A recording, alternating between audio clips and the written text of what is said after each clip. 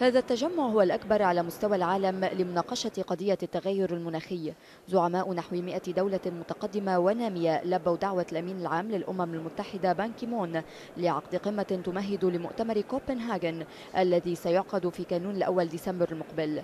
لم يختلف اثنان هنا على ضرورة التحرك لمواجهة تهديدات التغير المناخي والخلافات التي طالما عرقلت المفاوضات وأطاحت بمعاهدة كيوتو بدا وكأنها في انحسار خصوصا أن باراك أوباما رئيس الولايات المتحدة التي وقفت إدارتها السابقة في طريق تطبيق كيوتو اعترف بمسؤولية بلاده الجزئية كدولة صناعية كبرى عن تعاظم ظاهرة الاحتباس الحراري.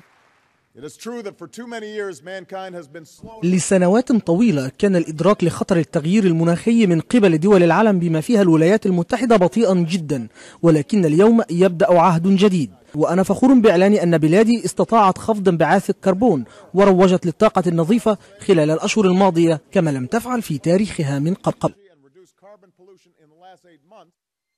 وعلى الرغم من الالتزام الذي أبداه أوباما تجاه خفض انبعاث الغازات الناجمة عن التصنيع لم يخفي المصاعب والعقبات التي تنتظر المفاوضات داعيا الدول المتقدمة والنامية إلى القيام بواجباتها للتوصل إلى اتفاقية عادلة تراعي مصالح الجميع.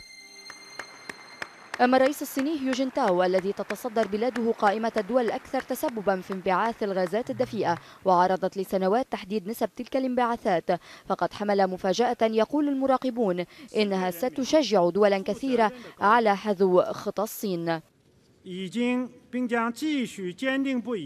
الصين تنفذ برنامجا وطنيا للتغير المناخي وهو يلزم بالحد من المواد الملوثة والانبعاثات الغازية وزيادة مساحات الغابات وعليه نحن ملتزمون بخفض انبعاثات الثاني أكسيد الكربون لكل وحدة إنتاجية بنسبة ملحوظة في العام 2020 مقارنة بالعام 2005 وسنبذل جهدا لتطوير مصدر الطاقة البديلة.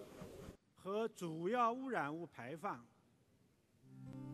الرئيس الصيني ذكر بضرورة أن تقوم الدول المتقدمة بواجباتها تجاه الدول النامية وتأمين التمويل والتكنولوجيا لها لمواجهة تحدي التغير المناخي مؤكدا أن التوافق والدعم السياسيين يشكلان الأساس لأي اتفاقية مناخية مقبلة.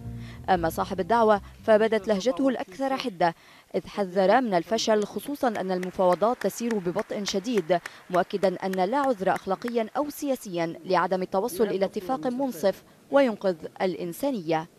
إذا كانت الحروب والنزاعات تهدد بعض الدول أو حتى القارات فإن التغير المناخي يهدد الكوكب بأثره. من هنا انطلق الأمين العام للأمم المتحدة في دعوته إلى قمة التغير المناخي. هذه القمة لن تخرج بقرارات ربما ولكن يعول عليها على الأقل لإيجاد أرضية مشتركة لمفاوضات كوبنهاجن والأهم الدعم السياسي اللازم لأي اتفاقية مقبلة من مقر الأمم المتحدة. وفاء جباعي بي بي سي نيويورك.